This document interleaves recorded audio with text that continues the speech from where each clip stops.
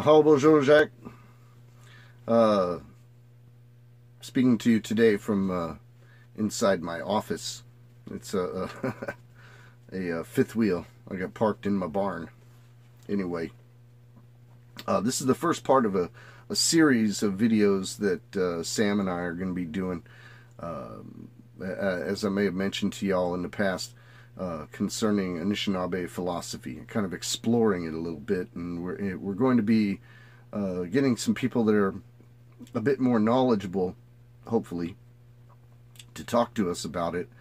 Uh, but I want to kind of go through some basics uh, as I understand it, and as Sam understands it, uh, with folks before before we can go on. Uh, I think there's a lot of misconceptions, especially given that academia, uh, especially the humanities and social sciences, are really predominantly um, uh, people in the postmodernist disciplines.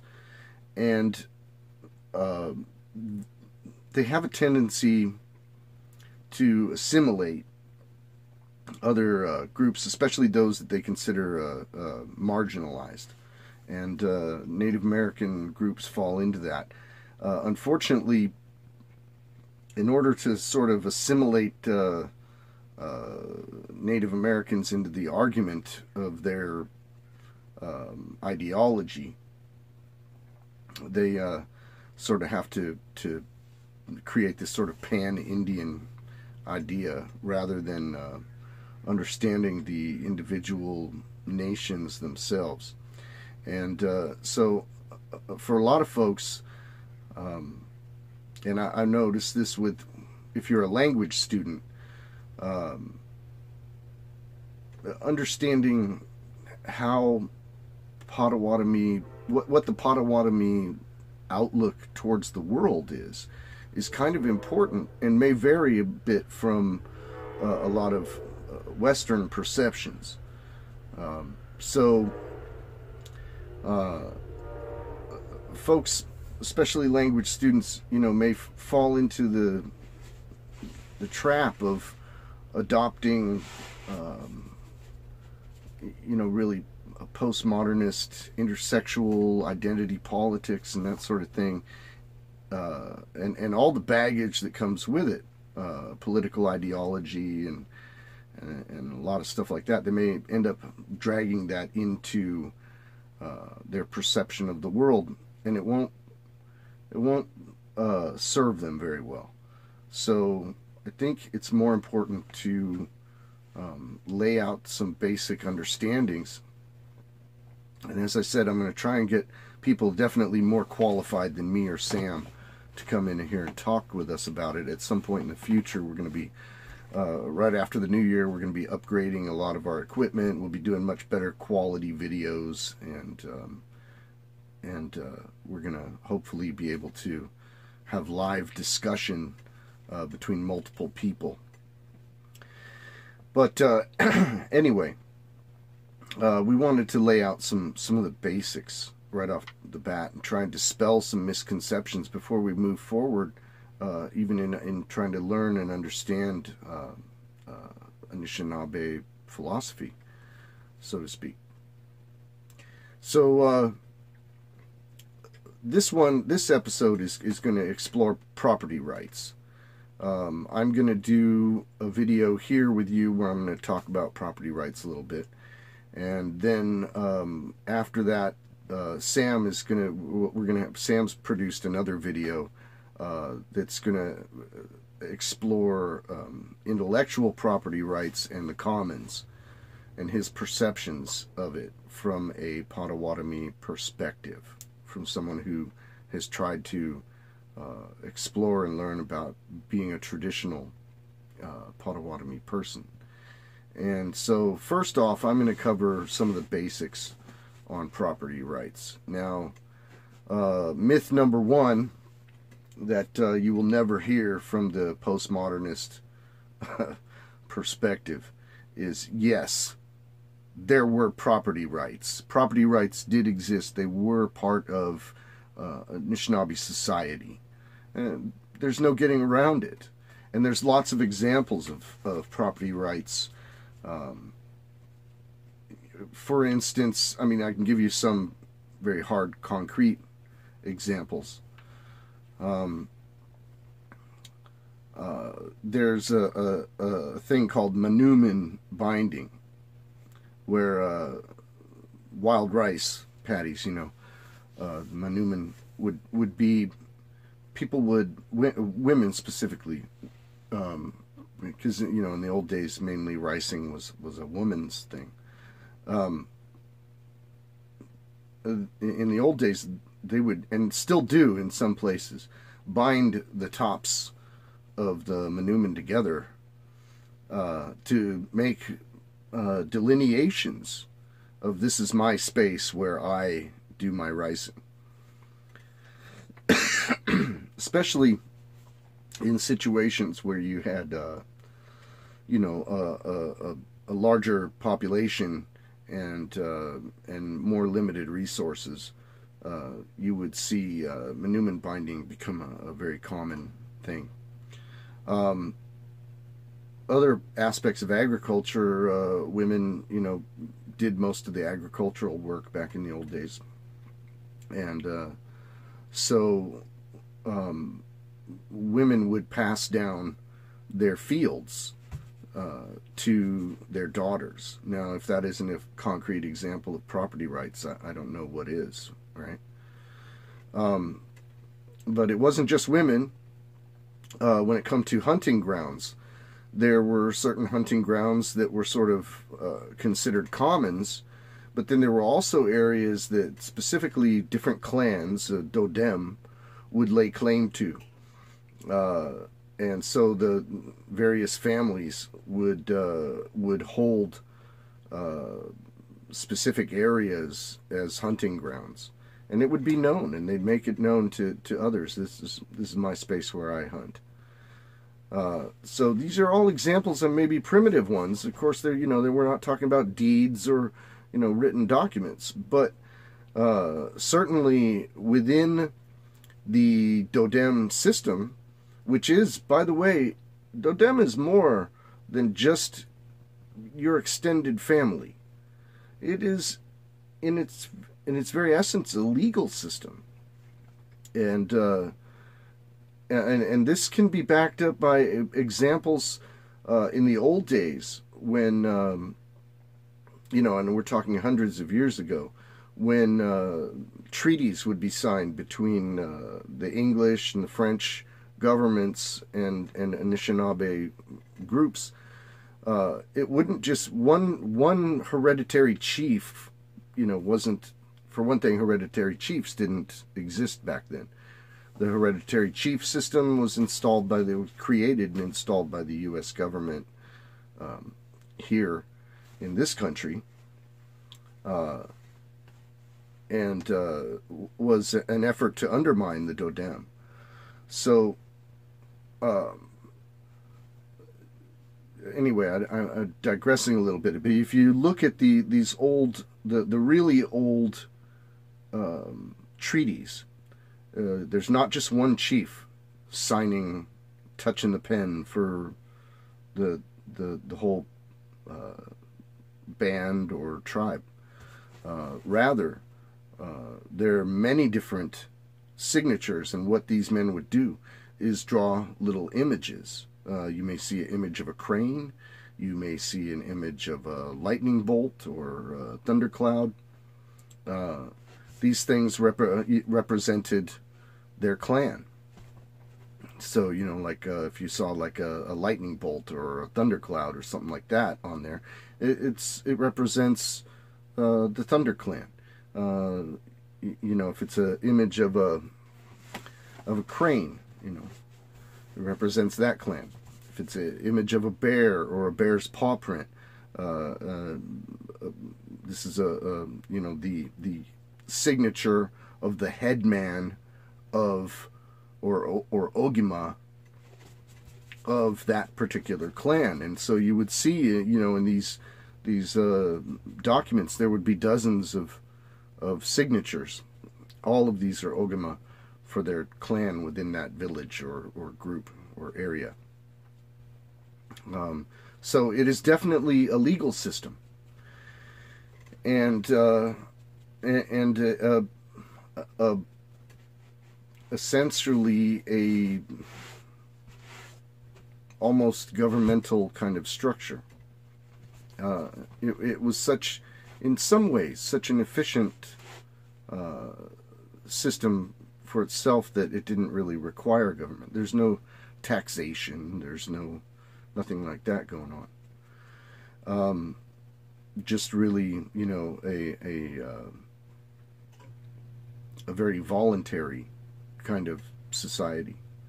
So yes, there were property rights. People had property rights. Certain uh, and and the whole idea of rights definitely exists. Uh, so these are not, um, you know, exclusively Western European ideas. Uh, and uh, property rights was a thing. Um, oftentimes, you know, the postmodernists or, or leftist types will try and tell you that, you know, there was this sort of socialist communist system. It's not the case. Not at all. Uh, um, uh, just because people engage in charity, uh, you know, helping each other out, doesn't mean that it's socialism. You know, that because there's no government forcing people to do it or extracting. Uh, there's no central planner extracting resources from one group of people and giving it to others. So it's uh, you know you, you have to understand that there's a difference between charity and you know social programs.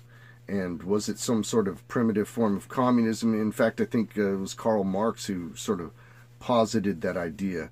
And I think that's based on the fact that he never met a Native American in his life, and uh, and certainly not a, a, an Anishinaabe person. And uh, the man, you know, lived in Europe, and and so his ideas of uh, indigenous Americans would be kind of skewed uh, and and come from a, a, a place of ignorance.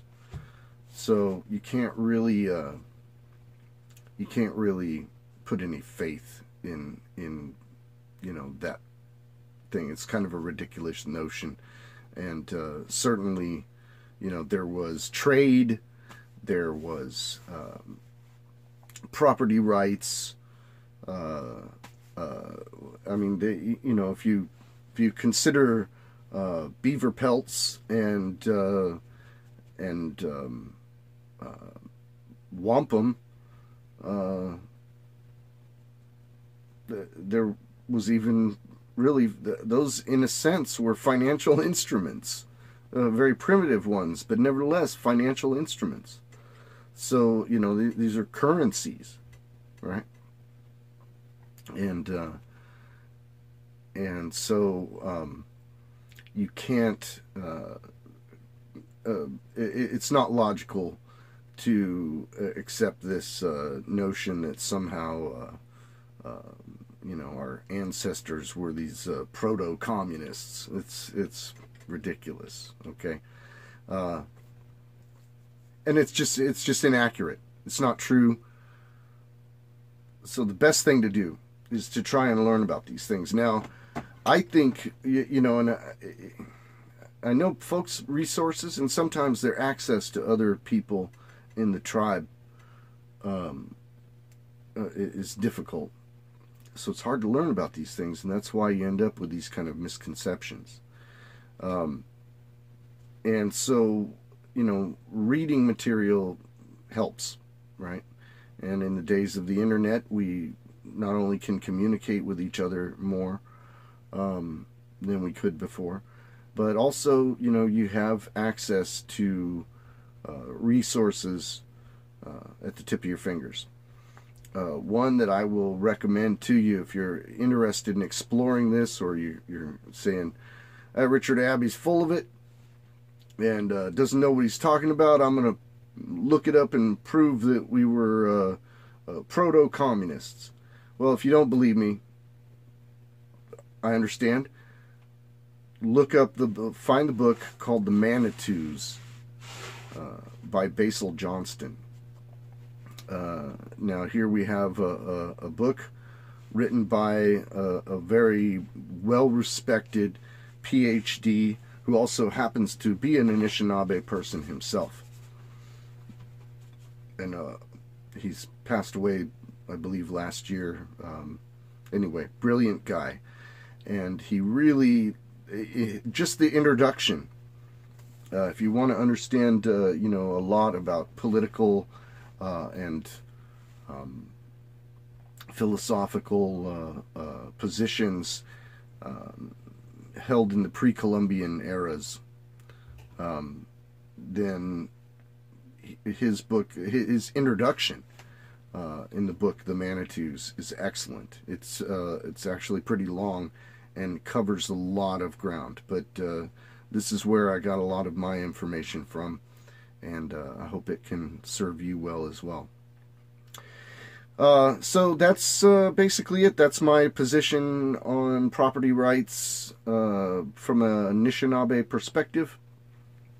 Uh, part two will be Sam Navar discussing intellectual property rights and how it relates to um, to to people. Um, now, th- here's you know kind of a, a touchy subject uh, because you know there are folks who argue about whether the language should be shared. There are folks who argue uh, about um, the sharing of songs and uh, and things things like that. And that's really the area of intellectual property. Personally, I feel that intellectual property is meh, uh, kind of anti-property rights, really, um, or in opposition to property rights. But uh, I know that a lot of folks have some very uh, sore feelings about that thing, that sort of thing, especially in a time when people are arguing over cultural appropriation and things like that, which once again the postmodernists rear their ugly heads, um, and uh, and so we have to be a little bit careful about how we perceive that, and and what kind of negative effects it can have. Uh, because people start claiming intellectual property rights, for instance, to the language, which there are some examples of that.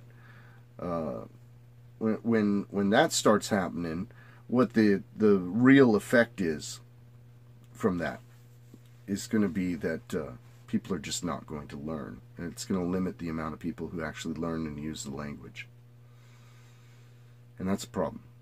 That, that's not good. Not good for us and not good for the people, not good for Potawatomi culture.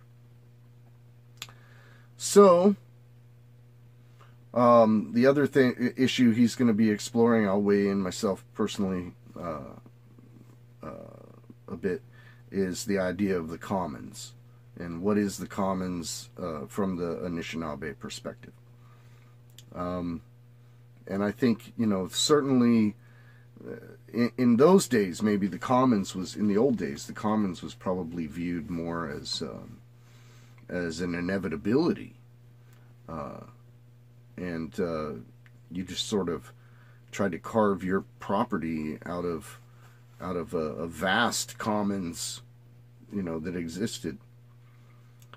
Um, but you know, much of the commons would be unusable and uh, so people would want to um, create property essentially um, out of you know the land and resources that were the best available uh, for their purposes. Anyway, Sam's going to explore that more in the next episode. That'll be coming up. Uh, stay tuned. Uh, Miigwech, uh, appreciate your uh, your watching. And uh, if you care to support uh, our uh, channel and what we do here at the farm, uh, feel free to uh, become a patron on our Patreon page. Uh, that's patreon.com slash Richard Abbey um, with no space in between Richard and Abbey.